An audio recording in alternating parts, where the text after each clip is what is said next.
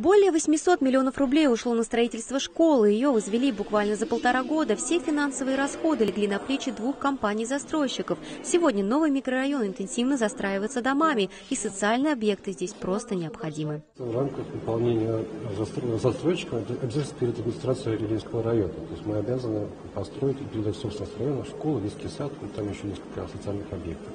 Владимир Жук новую школу посетил впервые. Депутату Московской областной думы показали актовый зал на 500 мест, построенный в форме амфитеатра и хореографический, с высоким потолком, большими зеркалами и качественным напольным покрытием. Особая гордость – это спортивный зал, столовая с буфетом и, конечно, учебные классы. Всего их 33, среди которых есть кабинеты химии и иностранного языка с современным мультимедийным и интерактивным оборудованием.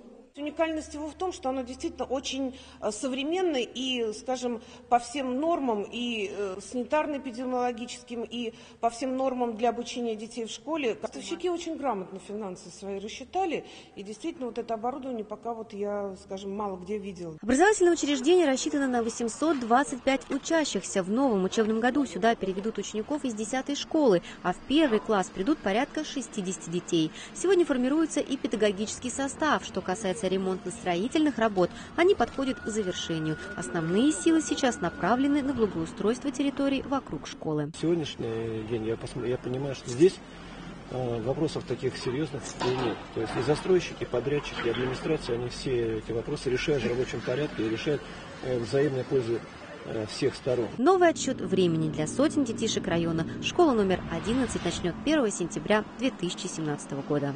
Ирина Бокова, Данил Свидерский, Екатерина Чернышова, Видное ТВ.